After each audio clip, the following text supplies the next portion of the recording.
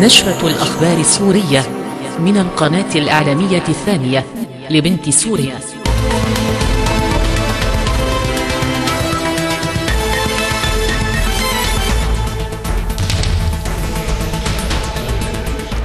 استدبارا في اسلوبها باستهداف الكفاءات والعقول والخبرات الوطنية. مجموعات إرهابية مسلحة تغتال عقيدين في حلب وتختطف عميدا في الغوطة الشرقية بريف دمشق. اغتالت مجموعة إرهابية مسلحة بنيران أسلحتها العقيد فؤاد شعبان من إدارة التعيينات عندما كان مع أسرته ما تسبب بإصابة ابنته الصغيرة بجروح كما اغتالت مجموعة إرهابية أخرى العقيد عبد الكريم الراعي من مرتبات قيادة المنطقة الشمالية في منطقة دوار باب الحديد بحلب. عصابة مسلحة يطلقتهم ضربتهم وأنا قدمنا شهيد في الوطن كلاتنا شهداء في سوريا الله يرحم شهداء سوريا كلهم وهو باتجاه عمله وعصابة غادرة غادرته دوار باب الحديد. عصابات مسلحة. والله ينتقم من الظالم. الله يرحم شهداء سوريا كلهم عصابات إرهابية ومهددين هن من زمان كمان. وما مشكلة لهم الله. كما اختطفت مجموعة إرهابية مسلحة أحد نسورنا البواسل العميد الركن الطيار محمد عمر الدرباس في الغوطة الشرقية في أثناء توجهه من منزله إلى مقر عمله.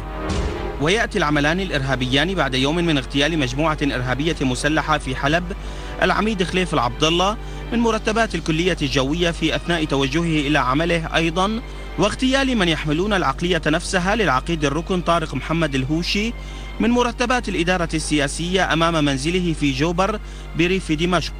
وكمؤشر لفكرهم الحاقد على العلم أصيبت المدرسة وفاء البني أمينة سر مدرسة أم الشهيد بجروح خطيرة في حماة نتيجة إقدام مجموعة إرهابية مسلحة على تفجير سيارتها بعبوة لاصقة تم وضعها في أسفل السيارة التي تحمل لوحة دمشق. سعار أصحاب الفكر الظلامي بات واضحا ومكشوفا. بدعم وتمويل خليجي ولن تحقق هذه الأعمال الإرهابية ما يشتهي أصحابها ولن تخرج سوريا عن حدود رسمها أبناؤها لأنفسهم عبر خصوصية تاريخية جعلت منها قلب العروبة النابض. استهداف الإرهابيين ومموليهم للكوادر السورية يصب في خانة المشروع الغربي في المنطقة. والسؤال لمصلحة من استهداف هذه الأدمغة واستنزاف طاقات الوطن؟ وفي مدينة حرست بريف دمشق استشهد العنصر أحمد جابر القاسم من قوات حفظ النظام والذي يعمل مدربا في نادي الشرطة الرياضي وأصيب شقيقه نمر بانفجار عبوات ناسفة وضعتها مجموعة إرهابية مسلحة تحت صندوق سيارته الخلفي. وقال قائد شرطة المحافظة العميد عبد الرزاق المطلق إن السيارة انفجرت قرب عبارة صوفان جانب شركة دايو للسيارات بعد سيرها لمسافة نحو 100 متر. كنا واقفين على الحاجز. آه، شوفير التاكسي دوبلنا على على يميننا وسمع طشطشه مدري شو سمع. نزل أحد الركاب وفتح الطبون. هو فتح الطبون فجرت السيارة. كنت بحرسته عند ابني زيارة. نايمين عنده الصبح بكير. افطرنا وقمنا ركبنا بالسيارة ومشينا مسافة 30 متر 100 متر. احتسينا في شيء بالسيارة. نزل الولد شاف السيارة من ورا ما فيها شيء. رد قال له اطلع اركب. ركبنا ومشينا شوي تاني. رد ابني الثاني وقف على اليمين. بعد وقفته على اليمين نزل وفتح الطبون مع فتحت الطبون وتنفجر السيارة بكاملة. ولد وقع بالأرض وولد وقع من وراء وأنا ما في شيء الحمد لله. وأنا أبوهن ونحن بنفدي الوطن بدمنا وبإخلاصنا وبكل شيء لنا للوطن.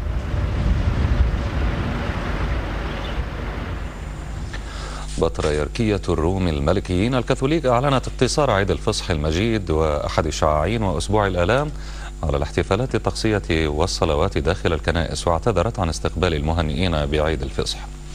ودعا البطريرك غريغوريوس الثالث لحام.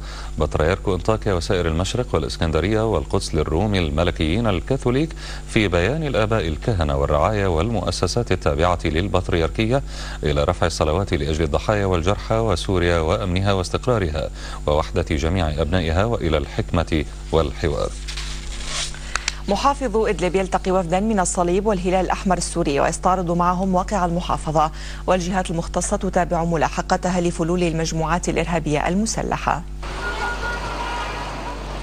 للاطلاع على واقع محافظة إدلب والإجراءات التي تتخذها الجهات الإدارية لتأمين احتياجات المواطنين وإعادة ترميم ما خربته المجموعات الإرهابية المسلحة التقى ياسر الشوفي محافظ إدلب مع بعثة مشتركة من الصليب والهلال الأحمر السوري. كانت اطلعت على الأوضاع في المدينة. كما قام محافظ إدلب بجولة ميدانية على المدارس للاطلاع على الواقع التدريسي مبينا أن المرحلة الحالية تتطلب المتابعة ومضاعفة الجهود والعمل بكل صدق وتحسين مستوى الأداء للارتقاء بالقطاع التربوي.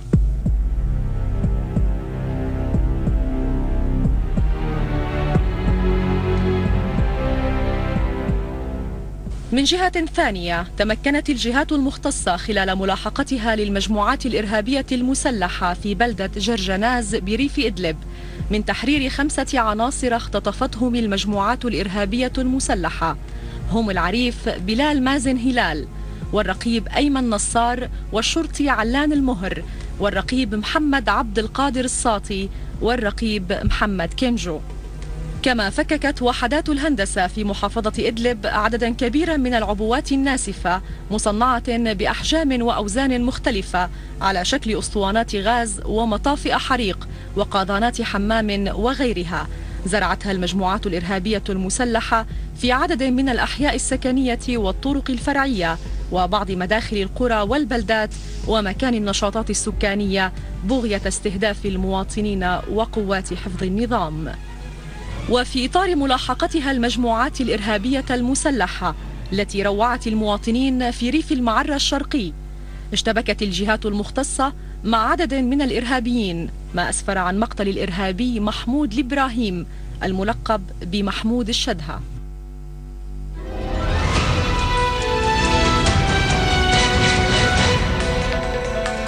إيران أكدت دعمها الكامل لسوريا وللإصلاحات والمطالب الشعبية المحقة التي اعتمدتها وعملت على تطبيقها والنهوض بها. وخلال لقائه في بيروت نبيه بري رئيس مجلس النواب اللبناني ورئيس الحكومة نجيب ميقاتي قال نائب وزير الخارجية الإيراني لشؤون شمال أفريقيا والشرق الأوسط حسين أمير عبد اللهيان شرحنا الموقف الرسمي والمبدئي لإيران في دعم سوريا واحتضانها على المستوى الحكومي والشعبي.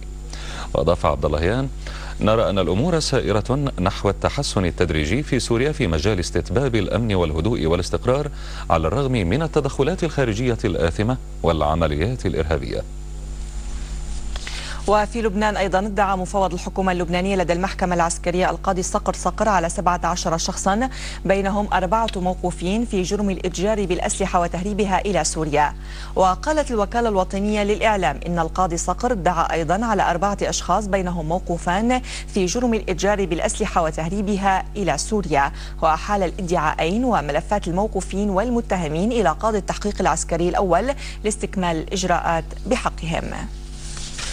تتكشف كل يوم غرف عمليات المخابرات الغربية لتزوير حقائق الأحداث في سوريا وتضخيم عدد القتلى. وما يسمى المرصد السوري لحقوق الإنسان يرفع عدد قتلاه الخيالي من دقيقة لأخرى ومن قناة باعت ضميرها الإعلامي إلى أخرى. الحملات الدعائية الإعلامية الكاذبة ضد سوريا أفرزت العديد من غرف العمليات ومنها ما يسمى المرصد السوري لحقوق الإنسان الذي بات واضحا تواصله مع المخابرات الغربية واستخدامه لنشر الأكاذيب والأضاليل وتزوير الأحداث وتهويل أعداد القتلى.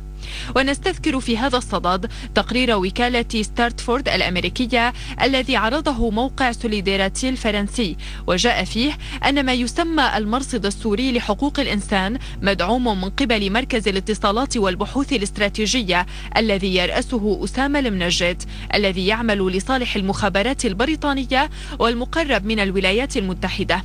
وهذا الأمر يؤكد أن أعداد الضحايا المدنيين في سوريا تصدر مباشرة من المخابرات المخابرات البريطانية. رغم ذلك تعده المفوضية العليا لحقوق الإنسان التابعة للأمم المتحدة مصدرا لأرقام القتلى السوريين التي توردها في تقاريرها. وزاد على ذلك أن منظم المرصد صديق المخابرات البريطانية رامي عبد الرحمن يطالعنا كل يوم بعدد جديد للقتلى. يختلف من دقيقة لأخرى ومن شاشة باعت ضميرها الإعلامي إلى شاشة أخرى. تجاوزت كل حدود الأخلاق المهنية والإنسانية ليرتفع عدد القتلى بين جملة وجملة ثلاثة آلاف قتيل سيد رامي عبد الرحمن الآن بأي عدد قدر المرصد السوري لحقوق الإنسان قتلى وضحايا بصفة عامة الاضطرابات التي تشهدها سوريا منذ أكثر من عام وكيف تم ذلك؟ أكثر من 9700 مواطن سوري سقطوا منذ الثامن عشر من شهر آذار مارس 2011 حتى هذه اللحظة هؤلاء موثقين سقط العديد من أكثر من 2000 و من 2000 من القوات الأمن والجيش النظامي. أعتقد أن العدد الواقعي هو يزيد عن 12000 12000 12000 مواطن سوري سقطوا منذ العام الفائت حتى اللحظه هذا المرصد الذي يتخذ من لندن مقرا له لا يوجد له أي مراسل أو مكتب في سوريا وحتى اسم رئيسه مزور وكاذب. ما يؤكد أن كل ما يصدر عنه ما هو إلا افتراءات كاذبة وما هو إلا بناطق باسم المجموعات الإرهابية المسلحة من جهة وشماعة تعلق عليها هذه الفضائيات أكاذيبها من جهة ثانية. أحمد المناعي رئيس المعهد التونسي للعلاقات الدولية عضو بعثة المراقبين العرب التي أوفدت إلى سوريا نهاية العام الماضي. جدد التأكيد على أن الحكومة السورية تجابه عشرات المجموعات الإرهابية وآلاف العناصر المنتمية إلى تنظيم القاعدة. وتساءل المناعي في هذا الصدد ماذا ترى على الحكومة السورية أن تفعل؟ وهي تجابه عشرات المجموعات من القاعدة عناصرها بالآلاف ومسلحين بآخر ما صنعته الترسانة الغربية يساندهم تحريض ديني وإعلامي منذ أكثر من عام. مواقف المناعي هذه جاءت في رسالة مفتوحة إلى الرئيس التونسي المؤقت المنصف المرزوقي نشرتها اليوم صحيفة الصحيفة التونسية منتقدا فيها السياسة التونسية الرسمية إزاء سوريا ولا سيما استضافة مؤتمرات ولقاءات معادية لسوريا. داعيا إلى تجنيب بلاده المضي في الخط الذي أكرهت على السير فيه ومقاطعة مؤتمر ما يسمى أصدقاء سوريا الثاني في إسطنبول. ويرى المناعي أن مؤتمر إسطنبول سيكون ندوة الوداع للأحلام والأوهام التي سيطرت على أذهان رعاة البقر وبعض من رعاة الإبل. ولفت إلى أن الجيش العربي السوري حسم أمر المسلحين على الأرض كما حسمت القيادة السياسية وحلفائها أمر الحرب الدبلوماسية. وقطعت سوريا شوطا بعيدا في الإصلاحات السياسية. في حين تراجعت عدوانية أغلب الدول الاستعمارية. وبدأت مع مهمة المبعوث الخاص للأمم المتحدة إلى سوريا كوفي عنان جولة من المفاوضات. وأضاف أن مفاوضات عنان ستكون مع الحكومة السورية وليس من وراء ظهرها ومفاوضات بين الكبار ولن يكون للصغار أي دور فيها. وفي باريس قال الرئيس الفخري للجبهة الوطنية الفرنسية جان ماري لوبين إن أولئك الذين قاموا بقصف المدنيين في طوكيو وهيروشيما وناكازاكي ودريسدن عليهم أن يلتزموا الصمت عندما يتحدثون عن سوريا والرئيس بشار الأسد. وانتقل لوبين خلال مقابلة مع راديو فرانس بوليتيك. الديمقراطيات الكبرى التي تقدم دروسا إلى سوريا. مؤكدا أن تلك الديمقراطيات أيديها غير نظيفة ومسؤولة عن قتل مئات الألاف من المدنيين في طوكيو وهيروشيما وناغازاكي ودريسدن ودعا لوبين إلى مقاومة البروباغندا التي تتدفق في وسائل الإعلام بخصوص سوريا قائلا يجب ألا ننخدع بطبيعة الأزمة في سوريا حيث تواجه الحكومة تمردا مسلحا يقوده الإخوان المسلمون والمرتزقة الذين تمولهم قطر. شيعت إلى مثاويهم الأخيرة جثامين عدد من شهداء الجيش وحفظ النظام والمدنيين استهدفتهم المجموعات الإرهابية المسلحة.